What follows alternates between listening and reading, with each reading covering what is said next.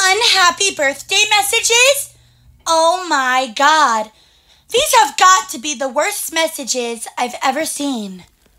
I'm going to give you the reasons on why I hate them.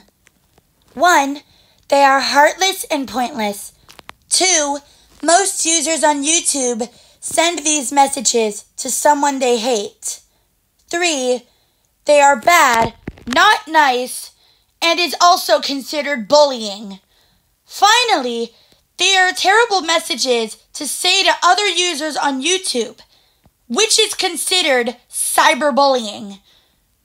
Do you know who likes these messages?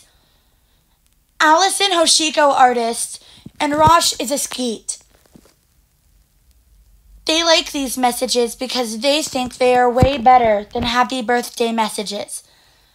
They suck for supporting unhappy birthday messages.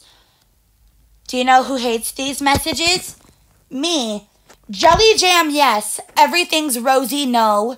Plushy friends. Mickey Mouse, Amphibia, and BFDI fan. 5667. Scanty Diamond, AUTTP. Stella MC Chan. Rainbow Pearl 518.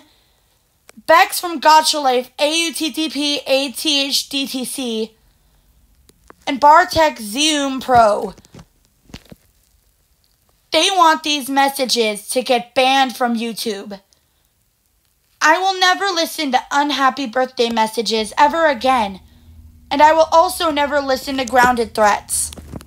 Happy birthday messages are 200 times better than unhappy birthday messages. End of rant.